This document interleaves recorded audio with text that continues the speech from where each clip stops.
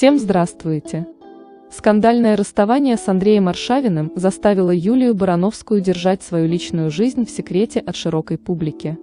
Телеведущая не раз признавалась, что мечтает о крепкой большой семье, вот только пока ей не удалось найти спутника жизни. Ведущая не расстраивается и верит, все еще впереди. Всем здравствуйте! Скандальное расставание с Андреем Аршавиным заставило Юлию Барановскую держать свою личную жизнь в секрете от широкой публики.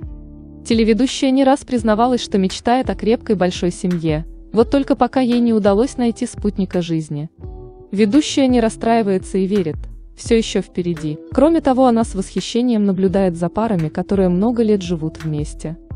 Каждый раз, когда вижу людей, отмечающих 65 лет со дня свадьбы, сожалею, что я уже не смогу ни с кем прожить бриллиантовую свадьбу.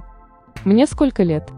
Должны уже новые технологии появиться, чтоб я дожила до 150, с юмором заявила знаменитость. Барановская после расставания с Аршавиным сумела встать на ноги. Сейчас Юлию знают по всей стране.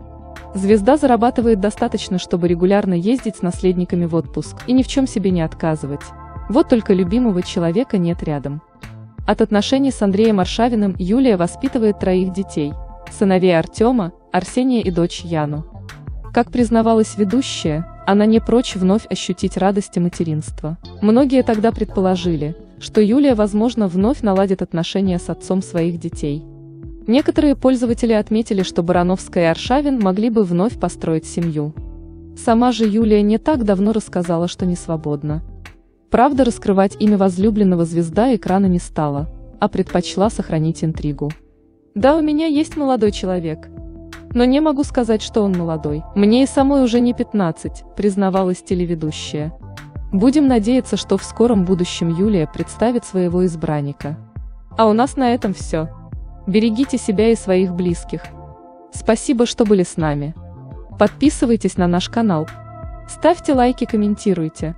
Всем пока!